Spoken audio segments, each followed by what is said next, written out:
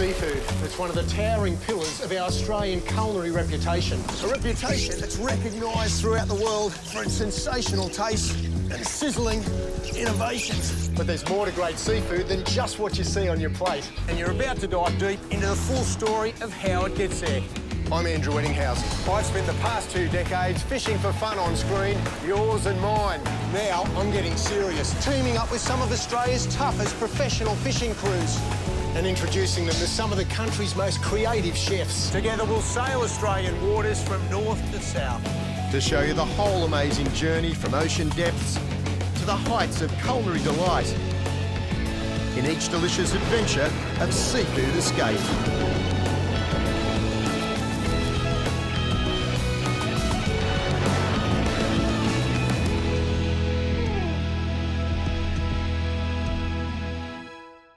In the Arafura Sea, off the coast of the Northern Territory's remote Arnhem Land, we're about to join a very unusual fishing operation. Spanish mackerel are a delicious fish to eat. But who catches them? Where do they come from? And how do they make it to the restaurants around Australia? Well, on this episode of Seafood Escape, we're about to find out. We're in the Wessel Islands, where we've come with the permission of the traditional landowners to spend a few days aboard the mackerel line fishing vessel Wildcard. This cruise spends about eight months of the year fishing at sea in the Gulf of Carpentaria, then welcomes guests aboard when Wildcard turns into a luxury adventure cruiser for a shorter tourist season. Juanita Davey is co-owner of this double enterprise, and today she's welcoming Sydney chef Colin Barker to see how the mackerel he serves in his boathouse restaurant is brought out of the ocean in these fishing dories. Each year, wildcard skipper Bruce Davey tows this string of dories more than 2,500 kilometres from Cairns to this part of the top end as his crew chase mackerel schools all the way across the Gulf of Carpentaria. We're up here at the Wessel Islands and uh, I've got Cole from the Boathouse restaurant in Sydney now. He's a great chef, brilliant at seafood, and we're up here and we're with the boss himself, or maybe not the boss himself. The boss is out there in one of the dinghies. She's fishing, but uh, we've got Bruce here from Wildcard, and five of the dories are working these grounds at the back here for mackerel, Spanish mackerel in particular, and at the moment they've landed about 40. And we've got two guys out there, three girls. Women are far better workers. If you get the right women and you train them well, they've got this competitive bloody instinct to try and be the best. Fishing industry's contracted from over 125,000 licences 25 years ago down to currently, you know, just a bit over 9,000. So the, the industry around Australia has gone through a lot of pain to restructure to ensure that all our fisheries are sustainable. So we know we can come out with a renewable resource, catch the same amount every year and everyone's happy. In fact, I've worked for you catch that mackerel. And that's Yeah. a pretty honourable job to have. And with the dories now coming in to offload their catches, the really serious work of that job is about to start. The crew are bringing the mackerel in now. They've been out there for a couple of hours. It's only a short little stint this morning. How'd you go, Tom? Too bad?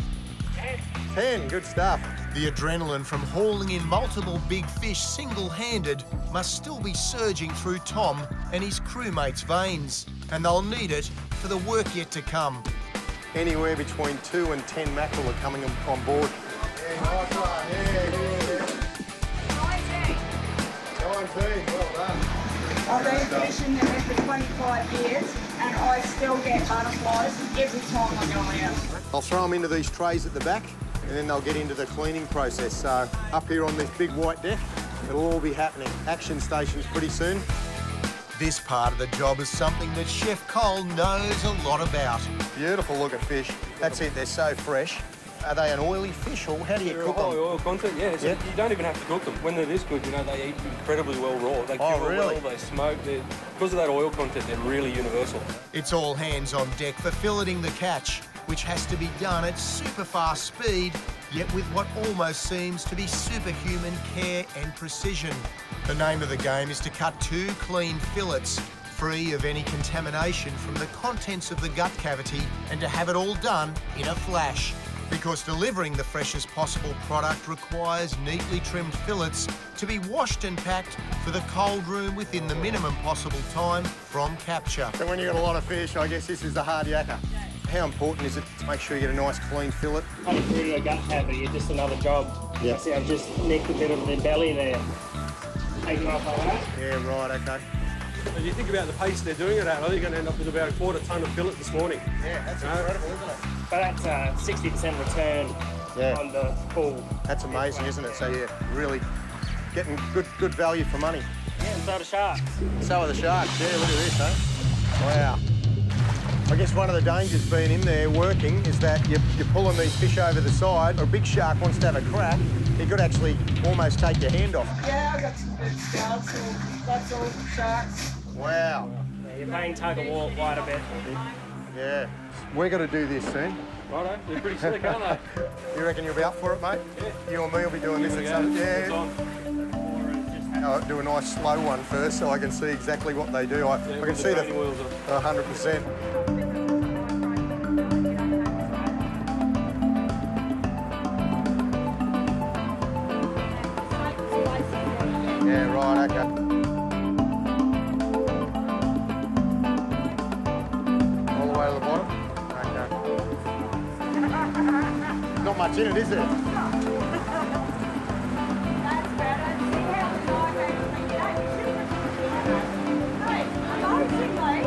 Okay? Eh? Well done, coach. Now that I've set the benchmark for a TV presenter's speed and precision, let's see what a professional chef can do. There you go, nice.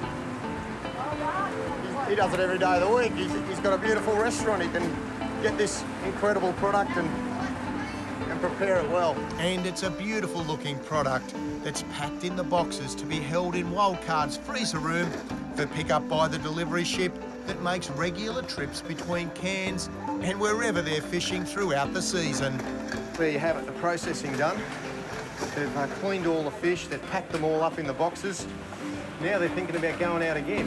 And when they do, Col and I'll be with them to experience this kind of fishing from the sharp end.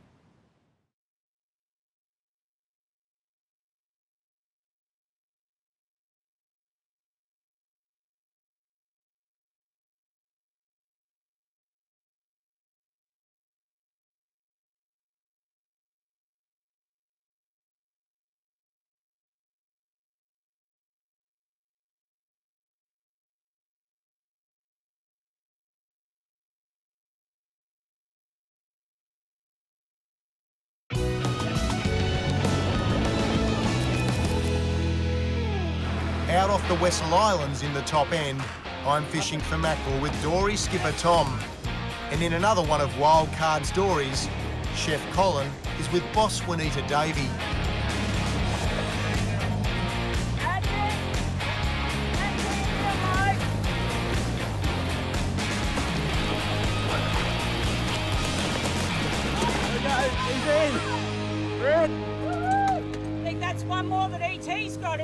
Isn't We're in it? front of this stage, we better get another one. Gotta go get another one.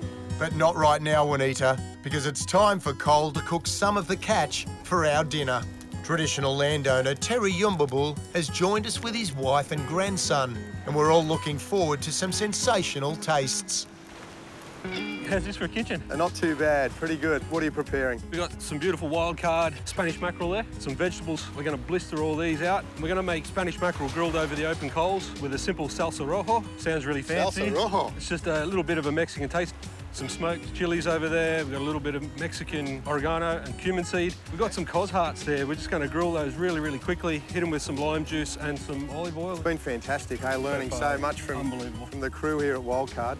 I mean, uh, Bruce, And he's over- dolled up tonight. He's actually, I think he's got dressed up for He you looks the tonight. part, doesn't he? Hey? How good is this? And this is not a bung on either, is it? This is This how is it legit. is. Uh, how much seating do we have in this restaurant?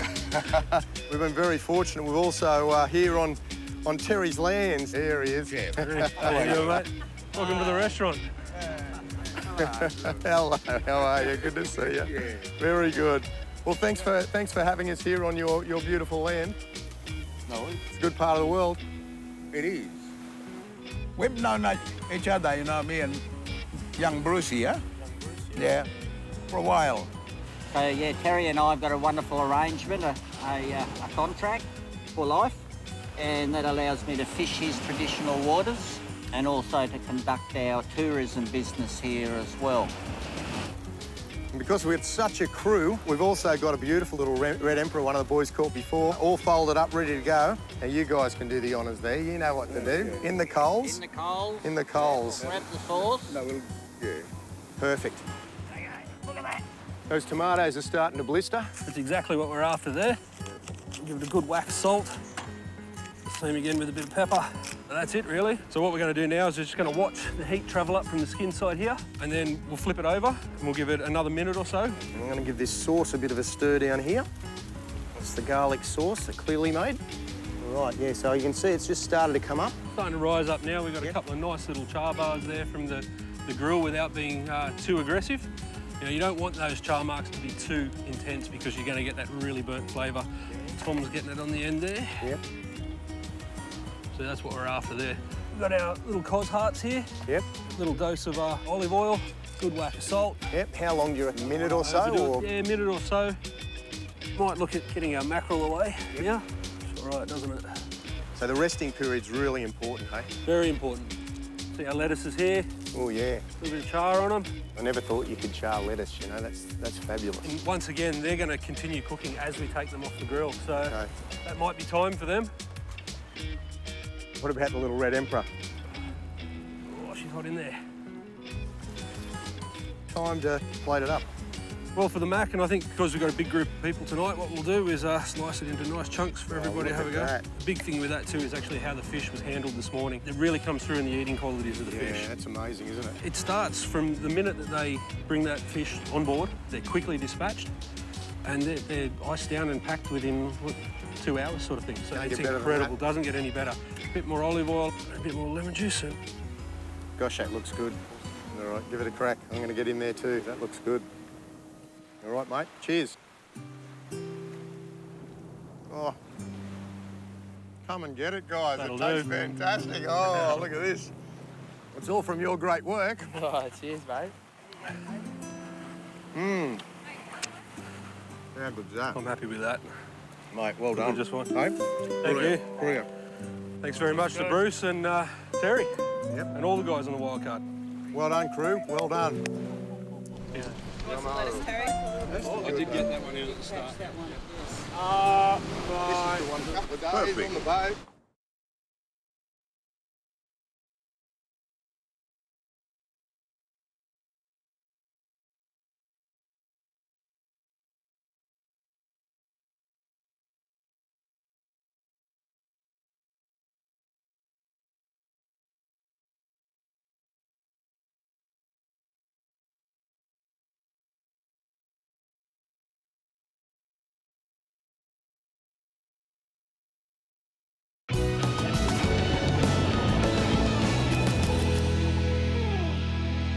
Morning after you've enjoyed a chef-cooked beach dinner of Spanish mackerel on one of the Wessel Islands, what are you going to do?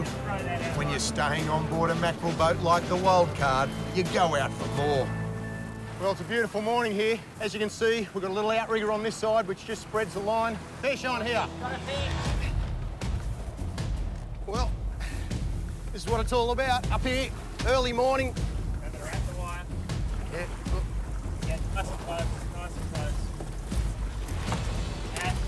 Woo! We're up on the, the top end of the Wessel Islands and it's mackerel fever. There's birds working everywhere. There's tuna all about. There's also big Spanish mackerel up this way. Completely different fishing style than I'm used to, but I'm certainly looking forward to a cracker morning. Colin Barker is on the dory Wild One with the real wild one of the fishing crew, their legendary boss Juanita Davey. It's a total change from Cole's own boss duties back home as executive chef at the renowned Boathouse restaurant in Sydney's Blackwattle Bay. And he's loving every minute of it.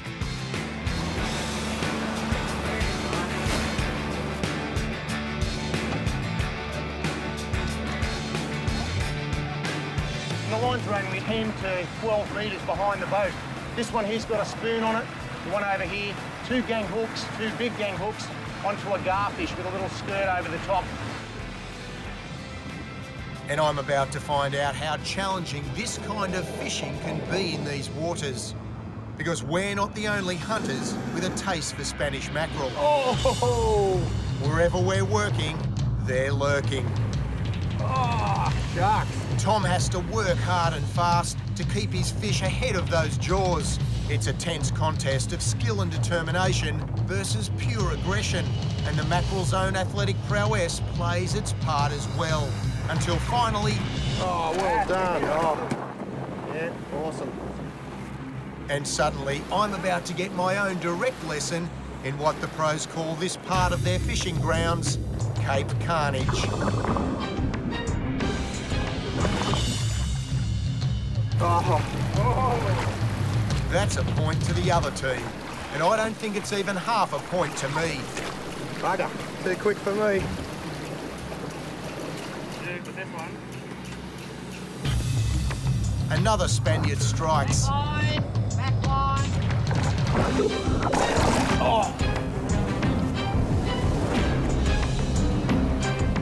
And the relentless pressure's back on me in an instant. With that kind of size and speed against me, it's all over just as quickly.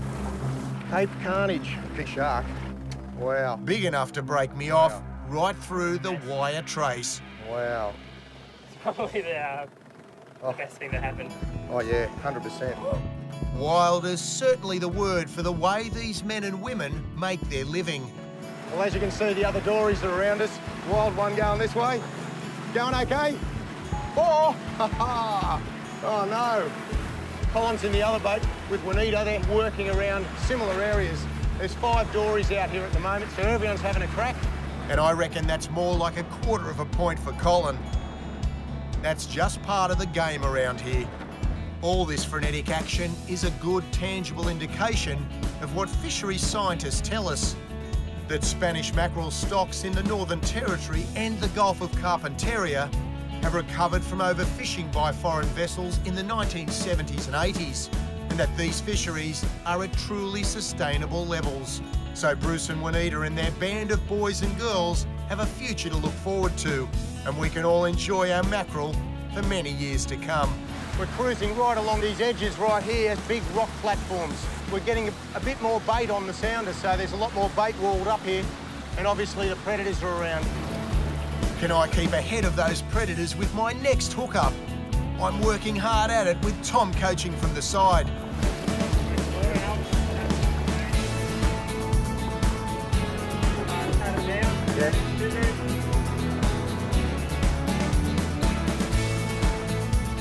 and I succeed in getting a full point on the scoreboard.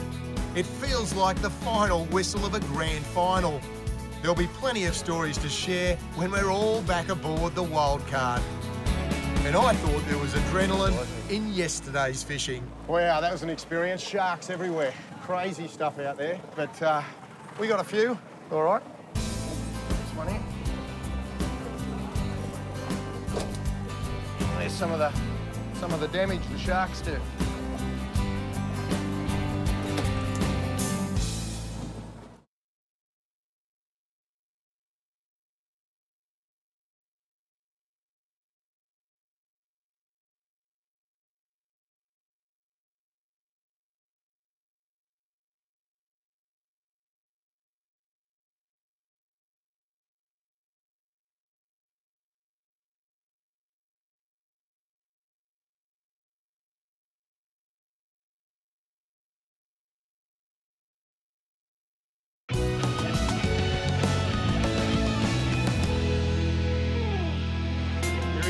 Wessel Islands off the Northern Territory's Arnhem Land are a long way away from Blackwattle Bay in Sydney.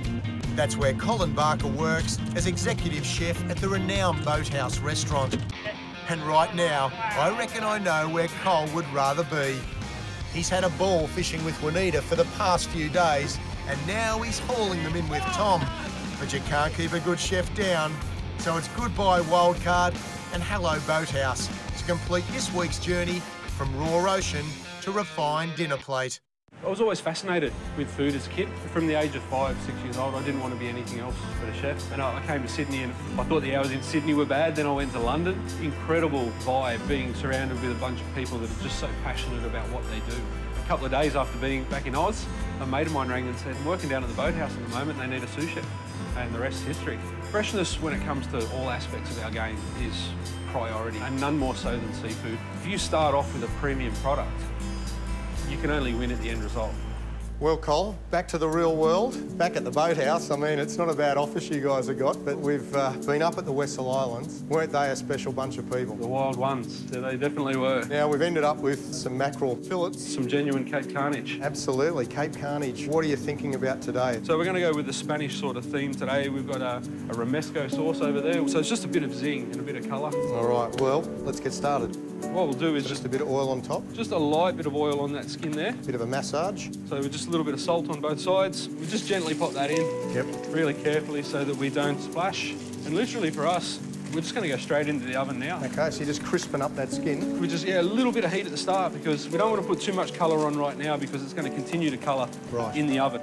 Uh, that's our romesco sauce. Yep. All that sort of gear. And then uh, in here, we've just got some garlic that we've caramelised very, very gently. Grab her out now. We'll have a little bit of a look. It's been in there for about the six minute mark now. Only a little bit of butter there. And you'll see when we bring that fish over how that skin's behaved in that pan. Wow, that's fantastic. A little bit of acidity. So literally, we don't want the fish to sit too long on that side in that pan.